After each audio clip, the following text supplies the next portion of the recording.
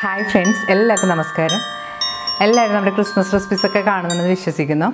ഇന്ന് ഞാൻ വന്നിരിക്കുന്നത് ഒരു ക്രിസ്മസ് റെസിപ്പി ആയിട്ടാണ് കേട്ടോ ഇന്ന് വന്നിരിക്കുന്നത്. ഒരു ക്രിസ്മസ് നമുക്ക് വളരെ ഈസി ആയിട്ട് ഉണ്ടാക്കിയെടുക്കാൻ പറ്റുന്ന ഒരു ചെറിയ പ്ലം കേക്കിന്റെ റെസിപ്പിയാണ് ഒരു അര കിലോന്റെ കേക്കാണ് അപ്പോൾ നമുക്ക് വളരെ പെട്ടെന്ന് ഉണ്ടാക്കിയെടുക്കാൻ പറ്റുന്നതും നമുക്ക് ഗിഫ്റ്റ് കൊടുക്കാനും അതുപോലെ തന്നെ ഇപ്പോൾ രണ്ട് മൂന്ന് പേരുള്ള വീട്ടിലൊക്കെ ഒരു അര കിലോന്റെ കേക്കൊക്കെ മതിയാവും. അപ്പോൾ നമുക്ക് അങ്ങനെ ഉണ്ടാക്കിയെടുക്കാൻ പറ്റുന്ന വളരെ ഈസി ആയിട്ടുള്ള കേക്കാണ് ഓവനോ അതുപോലെ ആൽക്കഹോളൊന്നും ചേർക്കാതെ ഉണ്ടാക്കുന്ന ഒരു കേക്കാണ് നല്ല ടേസ്റ്റിയും നല്ല സോഫ്റ്റുമാണ് അപ്പോൾ ഞാനൊന്ന് കാണിച്ചു തരാം കേക്ക് എങ്ങനെയുണ്ടെന്ന്.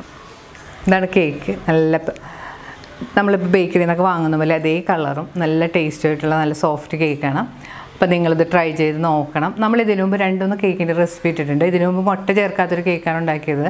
അത് ഒത്തിരി പേര് ട്രൈ ചെയ്ത് നോക്കിയിട്ട് നല്ല അഭിപ്രായമൊക്കെ പറഞ്ഞിട്ടുള്ളതാണ്. അതുപോലെ തന്നെ കേരള ട്രഡീഷണൽ പ്ലം കേക്കിന്റെ റെസിപ്പി ഞാൻ ഇട്ടിട്ടുണ്ട്. ഒത്തിരി നല്ല ടേസ്റ്റി ആയിട്ടുള്ള റെസിപ്പിയാണ് പറ്റുമെങ്കിൽ അതൊക്കെ ട്രൈ ചെയ്ത് നോക്കാം. ട്രൈ ചെയ്ത് നോക്കിയിട്ട് നിങ്ങളുടെ അഭിപ്രായം കമന്റ് ബോക്സിൽ മറക്കരുത്. നിങ്ങളുടെ ഫ്രണ്ട്സായിട്ടൊക്കെ ഷെയർ ചെയ്യുക. അപ്പോൾ നമുക്ക് കേക്ക് ഉണ്ടാക്കാൻ തുടങ്ങാം.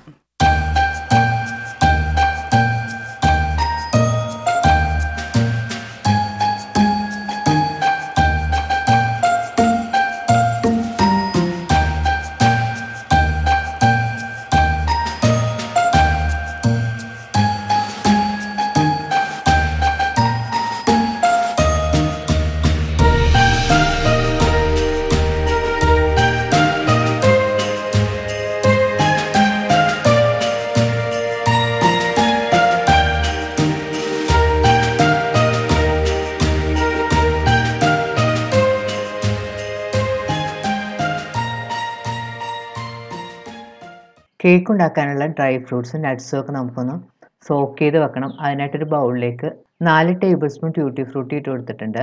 ഇതിലേക്ക് രണ്ട് ടേബിൾ സ്പൂൺ ചെറി ചോപ്പ് ചെയ്തതും രണ്ട് tablespoon white raisins chop ചെയ്തതും ബ്ലാക്ക് റേസിൻസ് ചോപ്പ് ചെയ്തതും രണ്ട് ടേബിൾ സ്പൂൺ കാഷ്യൂനട്ട് ചോപ്പ് ചെയ്തതും കൂടെ ചേർത്ത് കൊടുക്കാം. രണ്ട് ടേബിൾ സ്പൂൺ ഡേറ്റ്സ് ചോപ്പ് ചെയ്തതും കൂടെ ചേർത്ത് കൊടുത്തിട്ടുണ്ട്.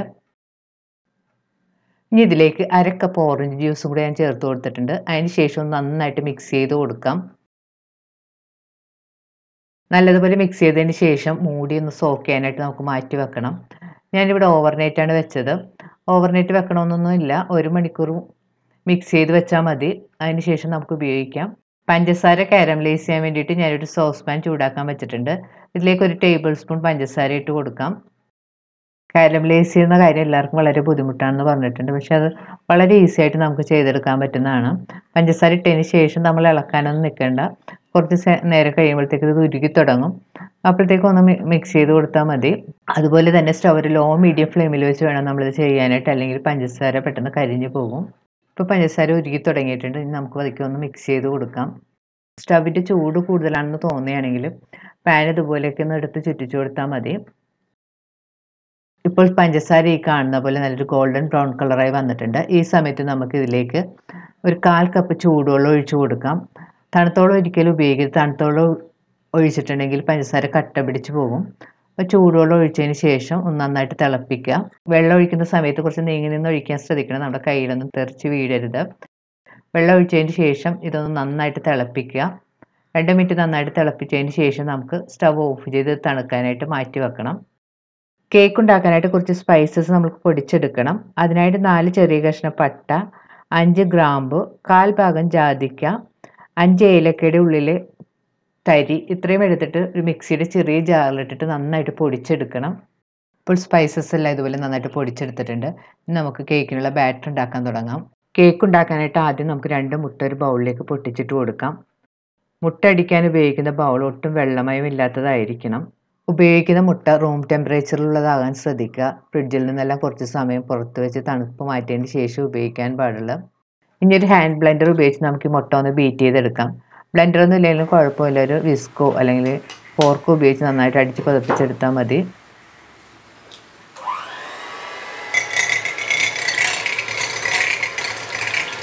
മുട്ട രണ്ട് മിനിറ്റ് നന്നായിട്ട് അടിച്ച് പതപ്പിച്ചതിന് ശേഷം ഇതിലേക്ക് അര കപ്പ് പൊടിച്ച പഞ്ചസാര ചേർത്ത് കൊടുക്കാം. പഞ്ചസാര ചേർത്ത് വീണ്ടും ഒരു രണ്ട് മൂന്ന് മിനിറ്റ് നമ്മൾ നന്നായിട്ട് ബീറ്റ് ചെയ്ത് പ്രവർത്തിക്കണം ഇപ്പോൾ മുട്ടയും പഞ്ചസാരയും കൂടി കാണുന്ന പോലെ നന്നായിട്ട് അടിച്ച് പതപ്പിച്ചെടുത്തിട്ടുണ്ട്. ഇനി ഇതിലേക്ക് നമുക്കൊരു കാൽ കപ്പ് ബട്ടർ ചേർത്ത് കൊടുക്കണം. ബട്ടറിന് പകരമായിട്ട് നമുക്ക് വെജിറ്റബിൾ ഓയിൽ വേണമെങ്കിൽ ചേർക്കാം. ബട്ടർ ചേർത്തതിന് ശേഷം വീണ്ടും രണ്ട് മൂന്ന് മിനിറ്റ് നന്നായിട്ട് അടിച്ച് മിക്സ് ചെയ്തെടുക്കണം. ഇനി ഇതിലേക്ക് ഒരു ടീസ്പൂൺ വാനില എസൻസ് കൂടെ ചേർത്ത് വീണ്ടും നന്നായിട്ട് ബീറ്റ് ചെയ്തെടുക്കണം.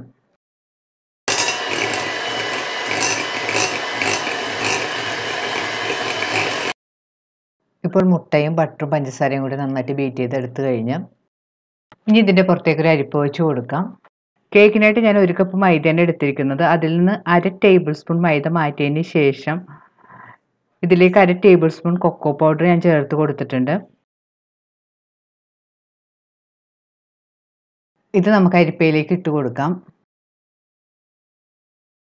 ഇതിലേക്ക് ഒരു ടീസ്പൂൺ ബേക്കിംഗ് പൗഡറും അര ടീസ്പൂൺ ബേക്കിംഗ് സോഡയും കൂടി ചേർത്ത് കൊടുക്കാം. ഇതിലേക്ക് ഒരു നുള്ളു ഉപ്പ് പൊടിയും കൂടി ചേർത്ത് കൊടുക്കാം. ഇത് നമ്മൾ നേരത്തെ പൊടിച്ച് വെച്ചിരിക്കുന്ന സ്പൈസ് പൗഡറാണ് ഇതിൽ നിന്ന് ഒരു ടീസ്പൂണാണ് ഞാൻ ചേർത്ത് കൊടുത്തിരിക്കുന്നത്. ഒരു ടീസ്പൂൺ മസാലപ്പൊടി നമ്മൾ ചേർത്ത് കൊടുത്താൽ മതി. ബാക്കിയുള്ള നമുക്ക് സൂക്ഷിച്ച് വെച്ചാൽ പിന്നീട് കേക്ക് ഉണ്ടാക്കുമ്പോൾ ഉപയോഗിക്കാം. ഇനി ഇത് നന്നായിട്ട് അരിച്ചെടുക്കണം. അരിച്ചെടുത്തതിന് ശേഷം ബാക്കിയുള്ള വലിയ തരിയെല്ലാം നമുക്ക് മാറ്റിക്കളയാം.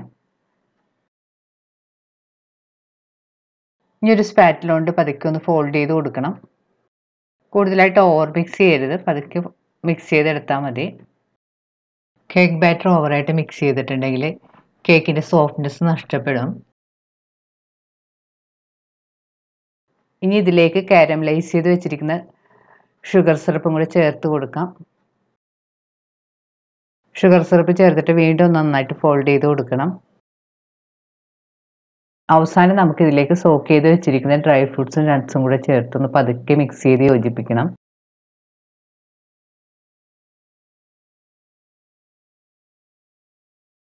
ഇപ്പോൾ നമ്മുടെ കേക്ക് ബാറ്റർ റെഡി ആയി കഴിഞ്ഞാൽ നമുക്ക് കേക്ക് ഉണ്ടാക്കാൻ തുടങ്ങാം. കേക്ക് ഉണ്ടാക്കാനായിട്ട് ഞാനിവിടെ ഒരു സിക്സ് ഇഞ്ചിന്റെ പാനാണ് എടുത്തിരിക്കുന്നത്. അതിലേക്ക് ആദ്യം കുറച്ച് ബട്ടർ തടവി കൊടുക്കാം. ഇനി ഇതിന്റെ അകത്തേക്ക് റൗണ്ട് ഷേപ്പിൽ വെട്ടി വെച്ചിരിക്കുന്ന ബട്ടർ പേപ്പർ ഇട്ട് കൊടുക്കാം. അതിന്റെ പുറത്തും കുറച്ച് ബട്ടർ പുരട്ടി കൊടുക്കണം. ഇനി കേക്ക് ടീനിലേക്ക് റെഡിയാക്കി വെച്ചിരുന്ന കേക്ക് ബാറ്റർ ഒഴിച്ചു കൊടുക്കാം. കേക്ക് ബാറ്റർ ഒഴിച്ചതിന് ശേഷം മുകൾ ഭാഗമൊക്കെ ഒന്ന് ലെവൽ ചെയ്ത് കൊടുക്കണം. അതിന് ശേഷം ഒന്ന് താഴേക്ക് തട്ടി ടാപ്പ് ചെയ്ത് കൊടുക്കണം. ഞാനിവിടെ കേക്ക് ഉണ്ടാക്കുന്നത് ഇതുപോലൊരു പഴയ നോൺ സ്റ്റിക്ക് പാനിൽ വെച്ചിട്ടാണ്.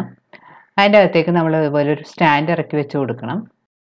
ഇതുപോലെ സ്റ്റാൻഡ് വെച്ച് കൊടുക്കുന്നത് കേക്കിന് ഡയറക്റ്റ് ആയിട്ട് പാനിൽ മുട്ടാതിരിക്കാൻ വേണ്ടിയിട്ടാണ്. നമ്മളിതിൽ മണലോ ഉപ്പോ ഒന്നും ഉപയോഗിക്കേണ്ട ആവശ്യമില്ല. ഇതുപോലെ തന്നെ വെച്ച് നമുക്ക് കേക്ക് ഉണ്ടാക്കി എടുക്കാൻ പറ്റും. ഇനി സ്റ്റവ് ഓൺ ചെയ്തതിന് ശേഷം പാൻ മൂടി കൊടുക്കാം. അതിന് ശേഷം ആറ് മിനിറ്റ് ഒരു മീഡിയം ഫ്ലെയിമിൽ വെച്ച് പ്രീ ഹീറ്റ് ചെയ്യണം. പാൻ പ്രീ ഹീറ്റ് ചെയ്യാൻ വെച്ചിട്ട് ആറ് മിനിറ്റ് എല്ലാം കഴിഞ്ഞിട്ടുണ്ട്. ഇപ്പം നന്നായിട്ട് ചൂടായി വന്നിട്ടുണ്ട്. ഇതിലേക്ക് നമുക്ക് കേക്ക് ടിൻ ഇറക്കി വെച്ച് കൊടുക്കാം. കേക്ക് ടിൻ വെച്ചതിന് ശേഷം വീണ്ടും പാൻ മൂടി വെച്ച് കൊടുക്കണം. മൂടി വെച്ചതിന് ശേഷം ഒരു രണ്ട് മിനിറ്റ് ഹൈ ഫ്ലെയിമിൽ വെക്കുക അതിന് ശേഷം നാൽപ്പത്തഞ്ച് മിനിറ്റ് ലോ ഫ്ലെയിമിൽ വെച്ച് കുക്ക് ചെയ്യണം. പ്രത്യേകം ശ്രദ്ധിക്കുക. രണ്ട് മിനിറ്റ് മാത്രം ഹൈ ഫ്ലെയിമിൽ വെച്ച് കുക്ക് ചെയ്യണം. അതിനുശേഷം ലോ ഫ്ലെയിമിൽ വെച്ച് കുക്ക് ചെയ്താൽ മതി. കേക്ക് കുക്ക് ചെയ്യാൻ വെച്ചിട്ട് മുപ്പത്തഞ്ച് മിനിറ്റ് എല്ലാം ആയിട്ടുണ്ട്. ഇനി നമുക്ക് തുറന്ന് നോക്കാം. തുറന്ന് നോക്കിയതിന് ശേഷം സ്ക്രൂവർ കൊണ്ട് കുത്തി നോക്കാം. കേക്ക് പാകത്തിന് കുക്ക് ആയിട്ടില്ല. അപ്പോൾ വീണ്ടും മൂടി വെച്ച് ലോ ഫ്ലെയിമിൽ ഒരു പത്ത് മിനിറ്റും കൂടെ നമുക്ക് കുക്ക് ചെയ്യണം. ഇപ്പോൾ കേക്ക് കുക്ക് ചെയ്യാൻ വെച്ചിട്ട് നാൽപ്പത്തഞ്ച് മിനിറ്റ് ആയിട്ടുണ്ട്. ഇനി നമുക്കൊന്ന് കുത്തി നോക്കാം. സ്ക്യൂവർ നല്ല ക്ലീൻ ആയിട്ട് വന്നിട്ടുണ്ട്. കേക്ക് നല്ല പാകമായിട്ടുണ്ട്. ഇനി നമുക്ക് സ്റ്റവ് ഓഫ് ചെയ്യാം. ഇനി റെഡിയായ കേക്ക് പാനിൽ നിന്ന് മാറ്റി തണുക്കാനായിട്ട് വെക്കണം. ഇപ്പോൾ കേക്ക് നന്നായിട്ട് തണുത്ത് വന്നിട്ടുണ്ട്. ഇനി ഇത് പുറത്തേക്ക് എടുക്കാം. ഇനി കേക്കിന്റെ അടിയിലുള്ള ബട്ടർ പേപ്പറെല്ലാം നമുക്ക് പൊളിച്ചു മാറ്റാം.